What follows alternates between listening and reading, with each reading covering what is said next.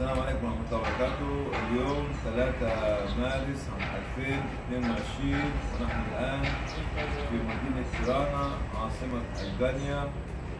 آه، وأنا واقف هنا الآن أمام آه، أوتيل تيرانا الدولي في الساحة الكبيرة في وسط العاصمة الألبانية. الزيارة الأولى لنا لتيرانا كانت في نهاية ديسمبر عام 1991 بعد أن انتهيت من الحصول على رسالة الدكتوراه في مدينة آه، برمنغهام من جامعة برمنغهام وسافرت مع الأستاذ أسعد طه مع الأستاذ عدنان إسماعيلي من آه، لندن إلى آه، بلغراد بلغراد سكوبيا سكوبيا بالعربية إلى تيرانا هنا عام 1990 آه، في هذا الوقت كانت الشيوعية سقطت بعد أن حكمت البلاد لمدة أكثر من 40 سنة بقيادة واحد اسمه أنور حوجة اللي كان عداء الإسلام عداء غير عادي رغم أنه هو كان مسلم من اسمه كما تعرفون. كان الإنسان المسلم هنا اللي يصلي يسجن اللي يصوم يسجن اللي يعرف عنه أنه مسلم يسجن أيضا ويعذب. مساجد أغلقت وحولت إلى اسطبلات خيل أو ورولت إلى مخازن أو أو إلى آخره. في هذا الوقت جينا هنا هو قيل لنا لا يوجد تعاون في البلد لأن البلد سقطت فعلا وقعت انتهى العصر الشيوعي فيها فكان علينا أن نأتي معنا بالأكل أو بالطعام من بريطانيا وجينا معنا بالبسكويت وبعض المعلبات اللي فيها لحوم ونزلنا في هذا الأوتيل. الاوتيل لم يكن بهذا المستوى. في عام 1991 سجلنا المؤسسة في المحكمة. في ذلك الوقت كان في هذا الوقت كل من وقعت إيده على عربة أو شاحنة أو جرار أو أي شيء من الحكومة السابقة كان بياخده يعتبره ملكيه شخصية. كنا لا نستطيع أننا نترك العربات بتاعتنا في الشارع زي ما أنتم شايفين كده العربيات اللي هو موجودة في الشارع امامكم عشان ليه؟ لأن كانت تسرق مثل هذه العربات من آه، الناس اللي هم كانوا مفيش دولة مفيش أمن مفيش نظام إلى آخره. يعني جلسنا هنا أكثر من 10 أيام تقريبا إلى أن سجلنا الإغاثة الإسلامية. هنا وكانت من أول المؤسسات التي سجلت في ألبانيا في هذا الوقت. لقم بالعمل الإنساني لها كما عهدتنا الاغاثه في الأيام السابقة إلى يومنا هذا وما زالت إلى الآن مستمرة في العمل هنا بفضل الله سبحانه وتعالى. عمل تنموي عمل تعليمي عمل ثقافي وعمل إنساني. كان حتى لا يوجد إن هو فنجان قهوة لبعض الشباب اللي كانوا معانا. يريدون ان يكتبوا بعض المقالات في الصحف والجرائد عن الوضع الإنساني في البوسنة والوضع السياسي والوضع الاقتصادي في البوسنة يضطروا إنهم يمشوا لوزير ثاني أو لقهوه أخرى آه، آه، ت- ت- تيسر لهم شرب فنجان قهوة كم فنجان القهوه في هذا الوقت يساوي دولار كل فنجان وفنجان صغير جدا هكذا يعني. هذه كانت مسيرتنا التي بدأت في النصف الثاني ديسمبر عام 1991 وزاد مستمر مسيرة العمل الإنساني هي مسيرة أبدية. مسيرة العمل التهمي هي الموت هي مسيرة أبدية. مسيرة العمل الاجتماعي هي مسيرة أبدية. ولا تستطيع الحياة أن تستمر بدون هذه الأعمال قاطبة مكملة ومتطورة بإذن الله سبحانه وتعالى. نشكر كل من ساهموا معنا في هذه المسيرة منذ ديسمبر عام 1990 إلى هنا هذا. وبعد ذلك وذلك في المستقبل إن شاء الله ونراكم إن شاء الله هنشوف هنذهب نشوف المسجد اللي إحنا صلينا فيه في عام 1990 كيف كان وماذا أصبح فيه السلام عليكم ورحمة الله وبركاته. Today is the 3rd of March 2022 and I'm standing here in front of uh, this Tirana International Hotel. Our first visit to Albania was in the after 15th of December 2020, uh, 1991 after, after having my degree of Doctor of Medicine from Medical, Birmingham Medical School in December 1991.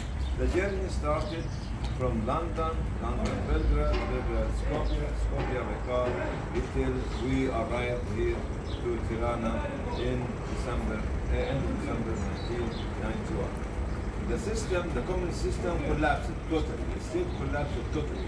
and there was no uh, security, and there was no uh, government, and there was nothing here in, in Tirana. Even the, the whole state, even the, the workers, the government workers at the time, if they have some assets from the government, they take it for themselves and they put it home.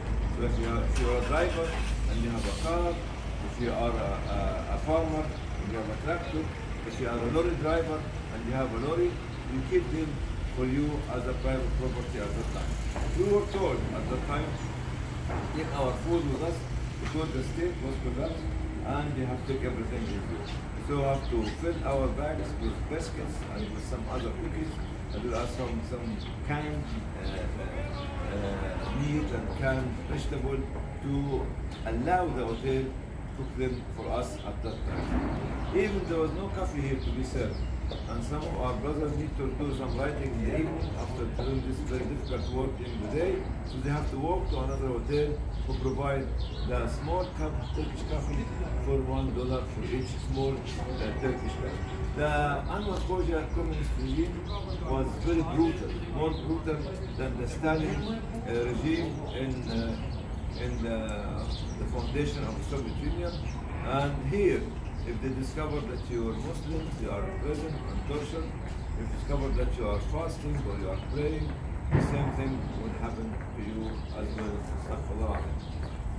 And this was the fourth years of Anwar Khoja's time, uh, which we he managed with his brutal regime to close all the mosques and left only this mosque, which you can see where actually the minaret of the mosque is there.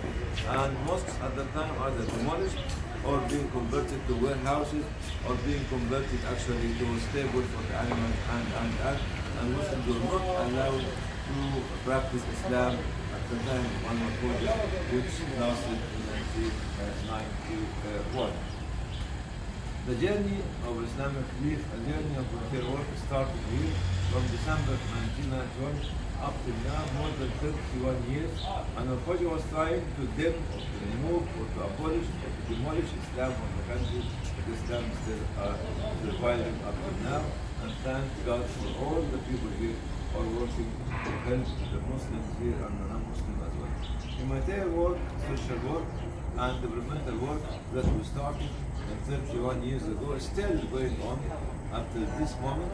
Try to educate people, try to train people, try to empower people, try to build the capacity of the uh, humanitarian, social, and developmental worker as well as the young people made and made from different backgrounds, whether they are Muslims or non-Muslim at that time. I remember a story mentioned to me by the longest serving uh, Albanian in the prison, which was put on the jail uh, for more than 40 years.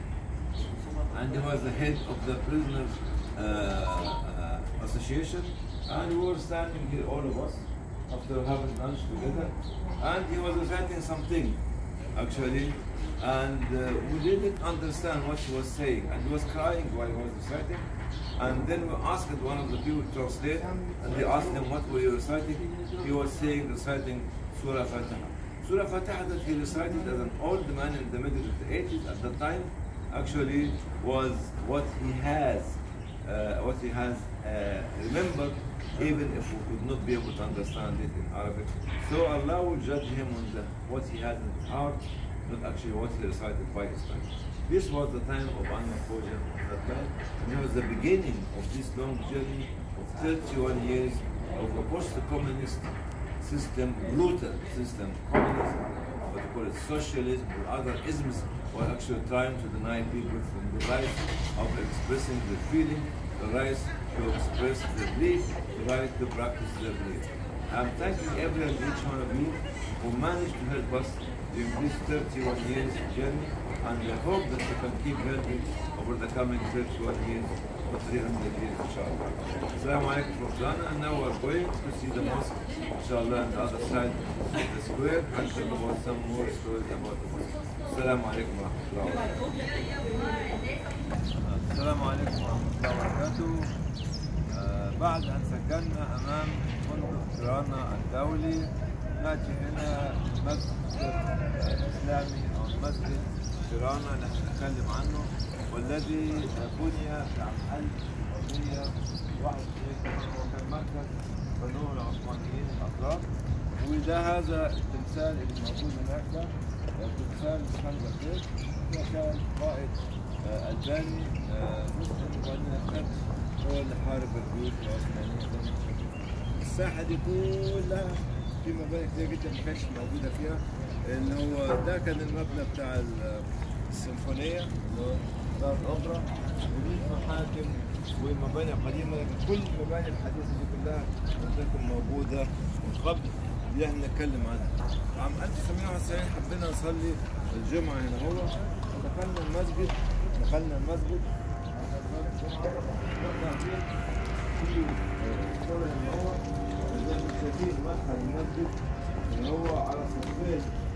لقينا هنا في الناس الألبان كانوا متحطين صف هادي وصف هادي يعني بيشاهدوا بيتفرجوا على المصلين. كأن المصلين دول كانوا جايين من كوكب آخر كانوا بينظروا لنا بنظرة كلها اندهاش في هذين الصفين. زي ما أنتم شايفين هو يعني صف من الناحية دي صف من الناحية دي علشان بيشوفوا يا سلام الملائكة اللي جايين يصلوا بعد ما اتفتح المسجد المسجد اللي هو في عصر وبعد ما هلك اللي هو آه، آه، أنور خوجة الذي حكم البلاد حكم دكتاتوري حكم دموي لمدة 40 سنة ومنع ومنع اللي هو ممارسة الإسلام في هذا المكان رغم عن أن أبوه كان مسلم وكان خوجة آه، أيضا يعني معلم للدين الإسلامي. وكذا فعلت الشيوعية بكل أصحاب الأديان في كل مكان. في العالم حولت المساجد والعياذ بالله إلى اسطبلات بيوت زي ما أنا قلت قبل كده ودمرت بعض المساجد وزيلت وأغلقت بعض المساجد. وهذا مسجد حول إلى أن يصبح متحف فقط الناس تتفرج عليه كجزء من العصر العثماني اللي كان بيحكم البلاد مدة أكثر من 100 آه، عام آه، في هذا المكان. ده كان تاريخ ألبانيا إحنا وصلنا ليه. هنا أيضا الذي يكتشف أنه مسلم كان إما يسجن أو يعذب أو ينفى من داخل المدن اللي هو فيها. كنا لما أنا كنت في أوتيل ترانا بعد ما عزمنا أحد آه، اللي هو يعتبر أكثر إنسان ألباني سجن في عصر أنور خوجه 40 سنة فعزمناه على الغداء معنا وإحنا واقفين على الدرج هناك أمام فندق ترانا قعد يتمتم تمائم إحنا ما كناش فاهمينها. أي لغة بتمتم هذه التمائم وكان يبكي وهو يتمتم هذه التمائم فسألنا المترجم ماذا كان يقول؟ قال إنه كان يقرأ سورة الفاتحة. سورة الفاتحة لم يكن لم نكن نفهمها ونحن عرب. فما بال هذا الرجل الذي قد يكون قد قضى نحبه الآن قضى نحبه وأنه كان في الثمانينات. في الفترة اللي إحنا موجودين فيها في 97 يعني من أكثر من 30 سنة لكن كان يبكي على ما تبقى له من كلمات يترنم بها ولا يفهمها هو ولا نفهمها. نحن فرحمة ربنا واسعة. ورحمة ربنا هي التي أهلكت هؤلاء الظلمة آه، اللي هم الظلمة أعداء الأديان كلها من الشيوعيين إلى أمثالهم الذين هلكوا. واستمرت الأديان هنا في الكنيسة الأرثوذكية في الخلف أيضا. وكذلك فتحت المساجد مرة أخرى وأصبحت الهوية الألبانية ترجع مرة ثانية الشعب الألباني بعد ما هلك هؤلاء الطغاة. أنا بشكركم في رؤية هذه المسيرة. التي ما زالت مستمرة منذ أكثر من 31 عام وستستمر إن شاء الله بدعمكم لأكثر من 31 عام قا- قادمة. ولكي تستعيد تستعيد هذه الشعوب حريتها وكرامتها وعزتها وإبائها وهويتها في نفس الوقت. شكرا لكم جميعا. أن كنتم معنا ما بين أوتيل ترانا اللي هو موجود هناك على الشمال وما بين هذا المسجد. الذي كان الناس يصرفون بين جنباته ليرون هؤلاء الملائكة الذين أتوا ليتقوا الله سبحانه وتعالى في الداخل في خطبة الجمعة. ونراكم إن شاء الله في مكان آخر في مدينة أخرى إن شاء الله. والسلام عليكم ورحمة الله وبركاته. السلام عليكم ورحمة الله وبركاته. We are starting now in front of the central mosque, the oldest mosque in Albania.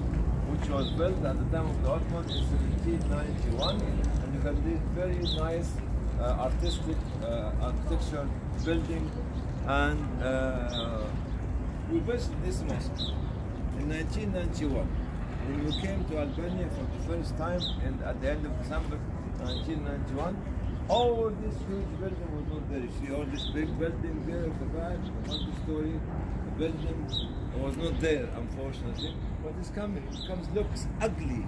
But the only thing was there, the symphony hall here was there, and some of the old buildings like this court on the left, and this um, uh, reddish buildings, which was actually on there when we came. This is the statue of somebody called. Skandar Bek was a fighter and was a knight, and he was a Muslim. Then he uh, turned against Islam and fought against the Ottomans at that time, and was supposedly he's considered to be Albanian hero because he stopped and the, the Ottomans were crossing the sea to go to Italy at that time. They actually the statue. This mosque was there, and I mentioned, as I mentioned before, most of the mosques in the country was either demolished, closed, changed into stables for the animals or warehouses.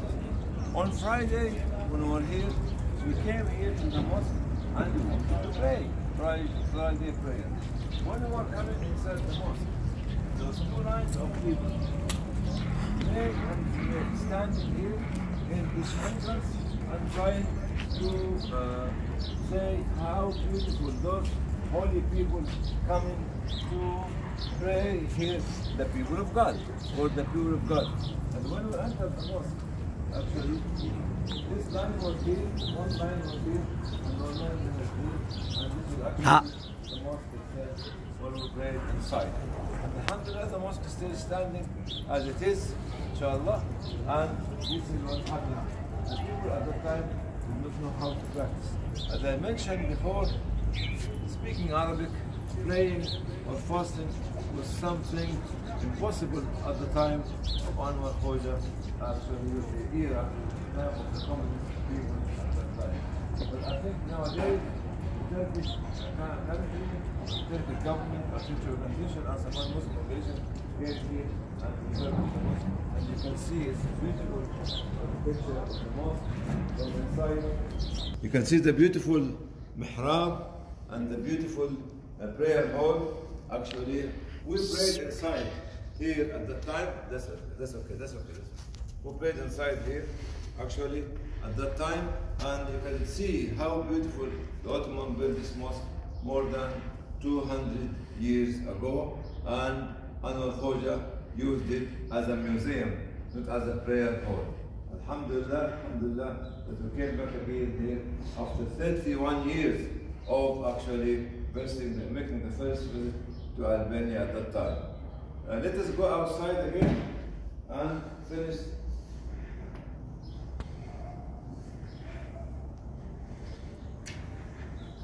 This is the message for all of you.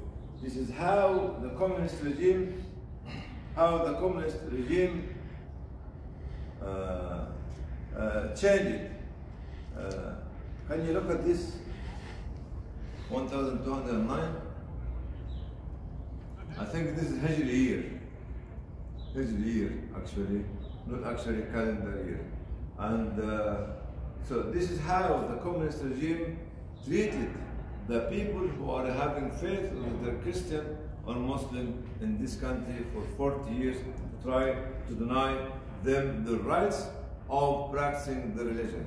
But today, alhamdulillah, we are back again. Anwar Khoja is dead, the communist has gone, and the mosque stays behind because of your dua, because of your contribution, and because of your support to the journey of our organization for the last 31 years. And you will be able to support again and again and again for the future. Assalamu alaikum wa rahmatullahi wa barakatuh. From Tirana, Assalamu alaikum wa rahmatullahi wa barakatuh. Assalamu alaikum wa rahmatullahi wa barakatuh.